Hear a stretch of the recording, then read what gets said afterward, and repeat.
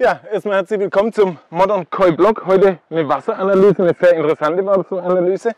Das ist eine Wasseranalyse an einem 50.000 Liter Teich mit einer 1500 Liter großen Biologie, 500 Gramm Futtereintrag am Tag, Wassertemperatur im Moment 23 Grad, Fischanzahl 50 Fische zwischen 30, 40 und ja, der größte wird so um die 75 cm haben. Interessant an der Anlage, die haben, hat keine normale Pumpe, also nicht wie wir es kennen, diese normalen Radialpumpen oder Inline-Pumpen, Propellerpumpen, sondern es sind hier diese Luftheberanlagen. Luftheberanlage ist eine Mischung aus kommunizierender Röhre mit einer starken Belüftung, die praktisch dieses, jetzt meldet sich Siri wieder, ähm, mit den durch die aufsteigende Luft wird Wasser mitgerissen und so soll hier 50.000 Liter in der Stunde umgewälzt werden. Ich gehe eher sogar davon aus, dass es weniger ist, dass vielleicht 25, 30, vielleicht 35.000 Liter sind, aber ist jetzt nur eine Mutmaßung.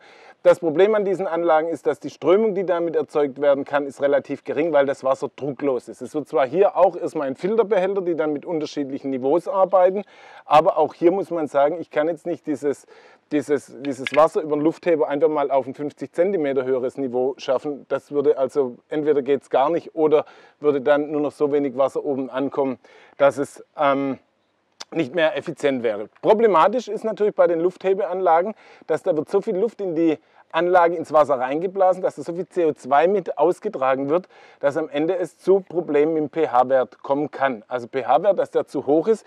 Und auch bei der Anlage ist es so, dass der Besitzer, der hat heute einen pH-Wert von 7,5 und dass er, dass er heute den Teich nicht mehr belüften kann, ohne dass sein pH-Wert dann gleich auf 8 hochrast. Und wie eklatant das eigentlich ist, was hier passiert, das kann ich Ihnen dadurch demonstrieren. Wir haben hier den Carbonathärtewert vom Teich, hier vom Ausgangswasser. Ausgangswasser, die haben hier sehr weiches Wasser, liegt bei 4,5 und im Teich ist er bei 0.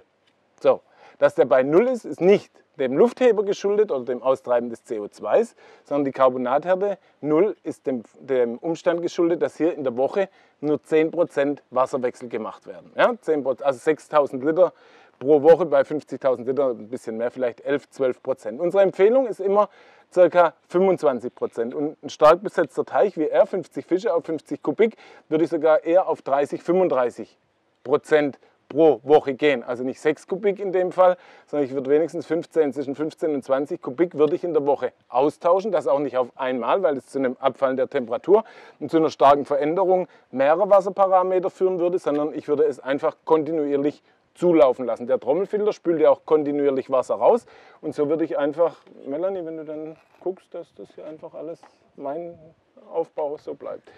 Ähm, ja, würde ich es kontinuierlich zulaufen lassen, so wie der Trommelfilter kontinuierlich das Wasser rausspült und würde die Größenwasserwechsel dann einfach bestimmten Situationen, man hat eine Medikamentenbehandlung und man will danach einfach mal 20, 30 Prozent Wasser wechseln. So, jetzt können Sie sich aber vorstellen, was wäre eigentlich, wenn ich morgen die Lufthebeanlage ausmache, also nicht mehr diese gigantischen Mengen CO2 austreibe, das CO2 im Wasser lasse und ähm, und trotzdem eine Carbonathärte von 0 hätte. Ich kann Ihnen sagen, der pH-Wert würde binnen Stunden, vielleicht einen Tag, würde der wahrscheinlich auf 6 runterknallen. Ja?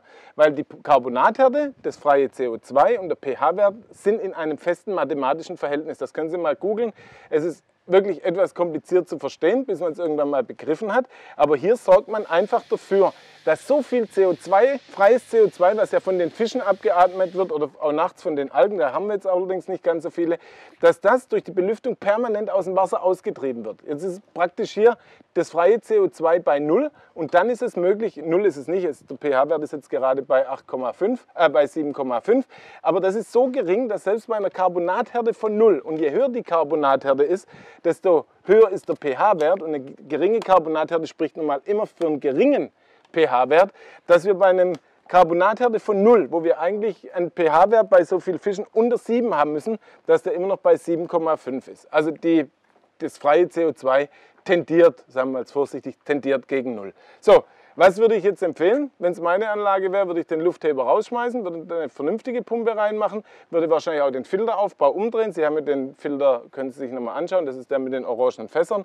Würde wahrscheinlich nach dem Trommelfilter erst durch die Biologie gehen, würde dann danach in den Teich drücken, hätte dann entsprechend gute Strömung, würde ein bisschen in meinen Filtern belüften. In den Filtern wird nämlich auch zusätzlich noch belüftet und würde so, wie sich das gehört auch im Teich belüften. Weil alles andere, so wie es jetzt gerade ist, reitet man wirklich auf Messerschneide. Man hat keine Carbonathärte mehr. Gut, die könnte man durch mehr Frischwasser zuführen, aber dann hätte man auch einen höheren Carbonathärtewert.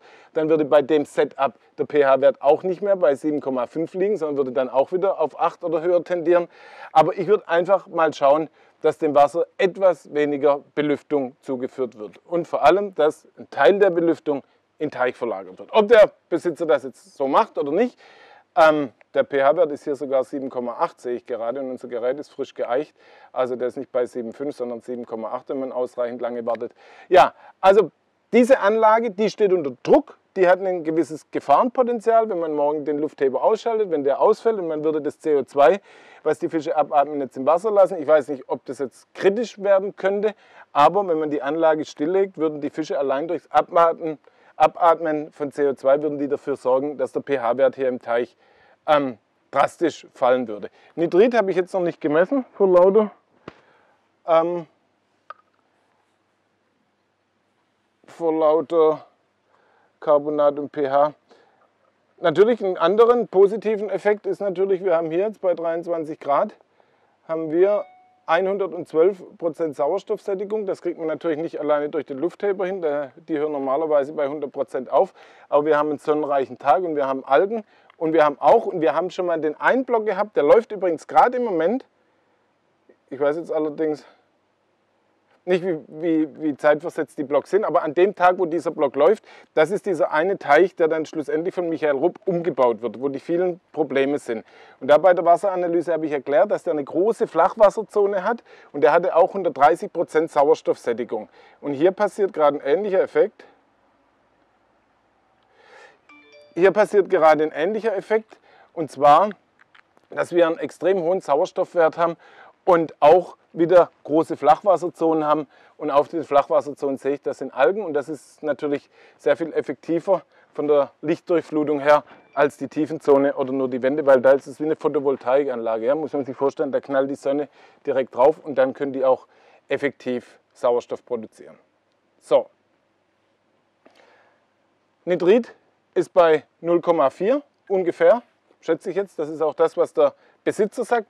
Woher kommt das? Die Filter, die er gerade gebaut hat, er hat da einiges umgebaut, hat was verändert und die laufen jetzt noch nicht in gewünschter Form. Und da hat er mich gefragt, wie viel kann er da machen, was, wie lange halten das die Fische aus? Und da kann meine Empfehlung nur sein, da muss man gucken, 0,4, wenn ein bisschen Salz im Wasser ist, ist jetzt allerdings im Moment nichts drin. Ja, also das sollte man vielleicht etwas aufsalzen bei dem ähm, Nitritgehalt man kann das schon ein paar Wochen, vielleicht auch ein paar Monate aushalten, wenn man 0,1, 0,15, 0,2 Salz, Prozent Salz im Wasser hat. Allerdings sollte es mittelfristig dann schon irgendwann mal richtig zum Laufen kommen. Ich würde jetzt nicht unbedingt die Futtermenge zurücknehmen.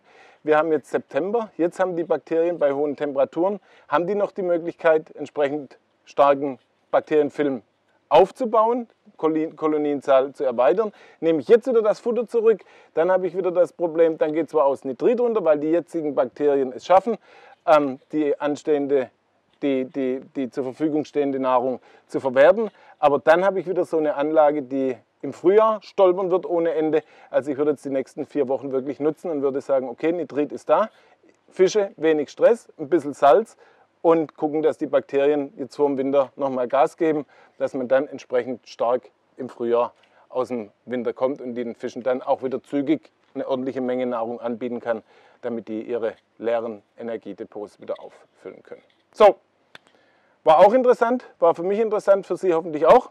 Wir tingeln jetzt weiter zum nächsten Teich. Ihnen noch einen schönen Tag und alles Gute.